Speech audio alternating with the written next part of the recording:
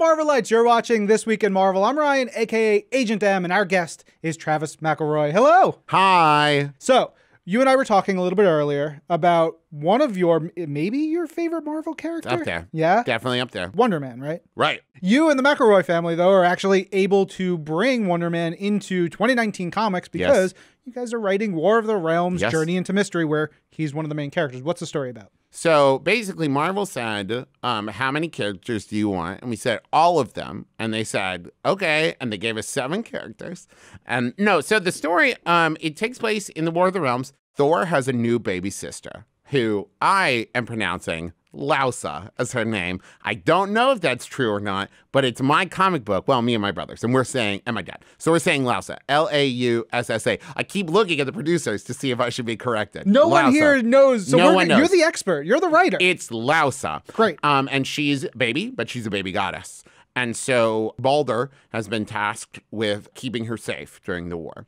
And so Balder has put together this team of people to help protect her. And the team is Balder, Wonder Man, and then Miles Morales, uh, Spider Man, Kate Bishop, Death Locket, Sebastian Druid, and Thori the God Dog. And basically, when we said we wanted to do it, I said, I want Wonder Man and I want a talking dog.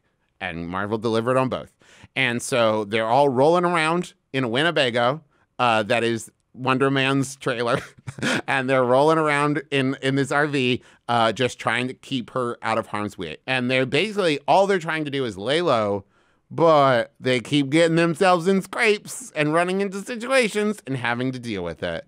And it's fun because they're like, you know, they they're not like an existing superhero group. You know, it's not like we dropped them with people who already had worked together. So there's a lot of that like figuring out the dynamics and and but also it's fun because a lot of it is completely situational, right? So like them riding around an RV, like having to deal with like seven people and a baby in in an RV for hours and hours and like the frustration that comes from that and like just saying like I just want can we just get out of the car? Please can we stop? Like well we can't stop. We're trying to protect this baby from gods who are hunting us. And it's like I just need a break from you. And like so it's super fun um, and you know, still with lots of action scenes, and it's great too because my dad has been not only a comic fan since he was like three, but also has written comics before and loves the world of comics.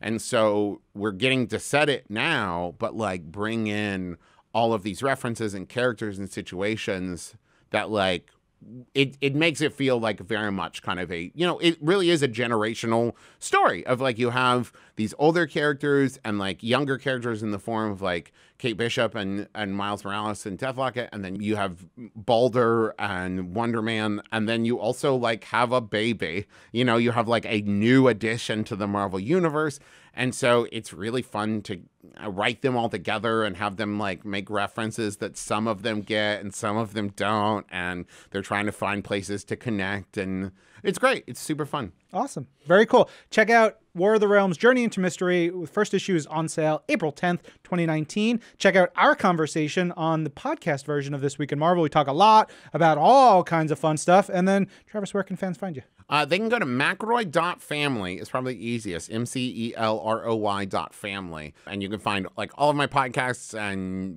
video stuff and all kinds of things there. Um, yeah, McElroy.family. Check it out. Very cool. I'm Ryan, I'm Travis. and this is Marvel. Your universe.